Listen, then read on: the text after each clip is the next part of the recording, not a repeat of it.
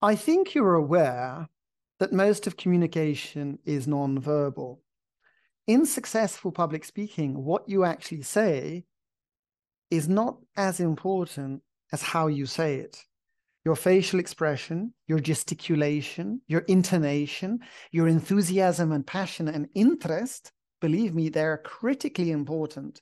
These are much I can't say much more important, but they are a critical factor in the success of your public speaking, in being well received.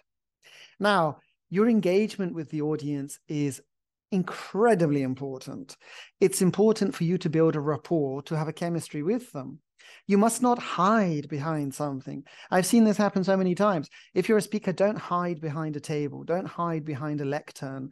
Don't, don't have your notes that you're hiding behind. Don't read the presentation. Don't read your notes. Speak to the audience and engage the audience. You need to make eye contact. Now, a nice trick that you can do is called eye jumping.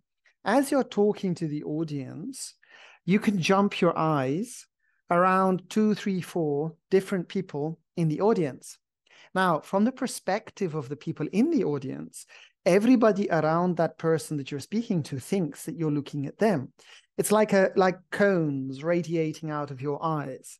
So by doing eye jumping and jumping from one person to another, from the back of the audience to the front to the side, everybody thinks that you're engaging specifically with them.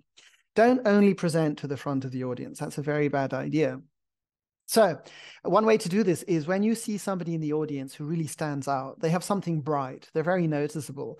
Strategically speak to these different placed persons in the audience and jump between them, not in one particular order, slightly chaotic, and that keeps people on their toes.